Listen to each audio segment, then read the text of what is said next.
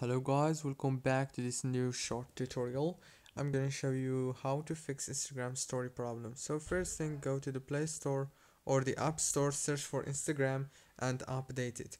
When you update your Instagram, now go back, open the settings, go to the Apps Manager.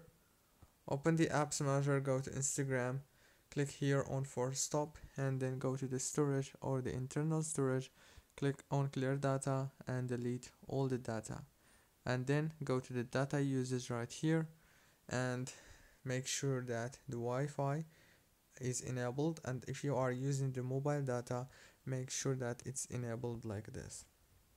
Go back to the settings go to the wireless and networks and go to the Wi-Fi disable it and enable it. Don't forget to like subscribe. Thank you for watching this video until the very end See you later.